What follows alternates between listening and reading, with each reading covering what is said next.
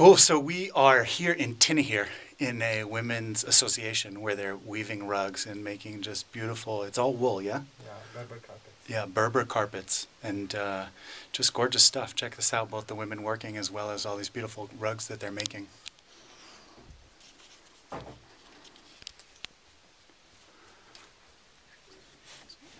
This is the raw wool.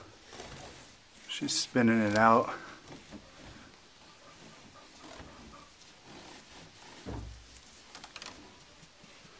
And this woman is weaving. It's kind of hard to see back there. Some dyed wool. And then these are some of the uh, patterns and some of the carpets that they're making.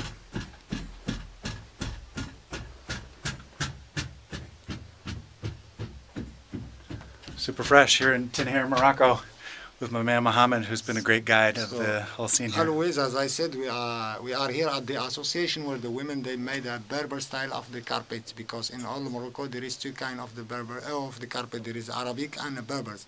Here at the south we do the Berber style with a natural uh, color. They date by uh, saffron, by poppy, by indigo, and by mascara. They call that the women they use for the eyes, and all it's handmade and pure natural. But this kind of the work is starting to be lost by the time because before the job it was irritated from the mother to the daughter. But now almostly of the people they send their child to the school.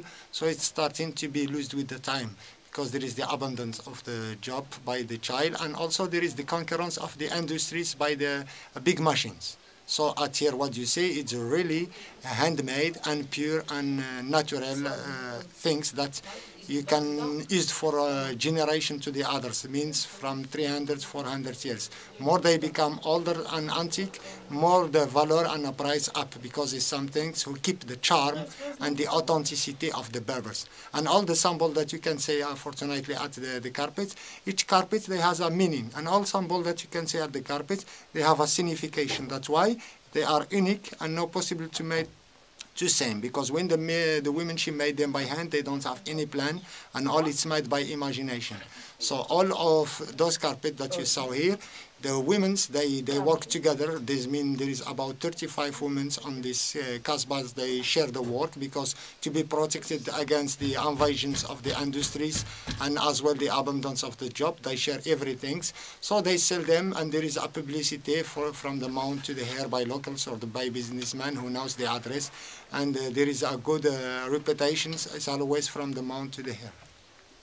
Nice. So my man Mohammed kicking the knowledge here about the authentic Berber carpet making and tradition and technique here in the uh, association. Lovely. Thank you, Mohammed.